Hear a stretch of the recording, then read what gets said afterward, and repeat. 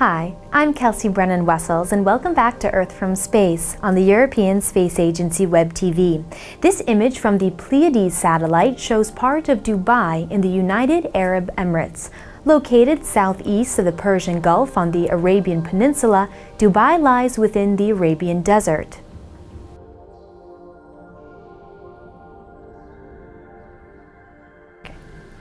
The city is a major business hub and its revenues come from tourism, real estate, and financial services. The light blue area near the center of the image is the man-made Burj Khalifa Lake. Next to the lake sits a skyscraper that is the tallest man-made structure in the world. Its long shadow is cast to the north, but that appears to the right in this image. Zooming in on the lake, we can see the curves and circles of the Dubai fountain.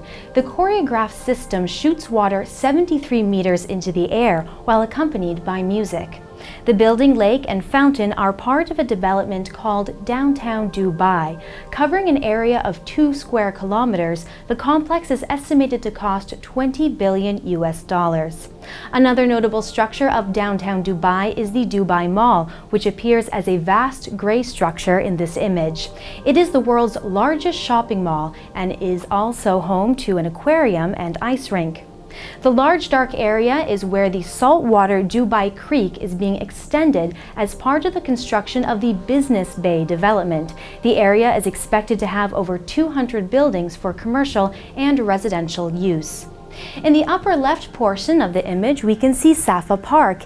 It contains three lakes, over 200 species of birds, and nearly 17,000 different types of vegetation.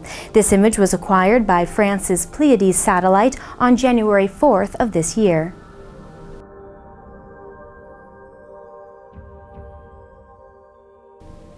Well, that brings us to the end of this edition of Earth from Space. Remember that we broadcast online every Friday at 10 o'clock Central European Summer Time. You can watch us on our website or through the ESA app on your mobile device. From the ESA Web TV studios, I'm Kelsea Brennan Wessels.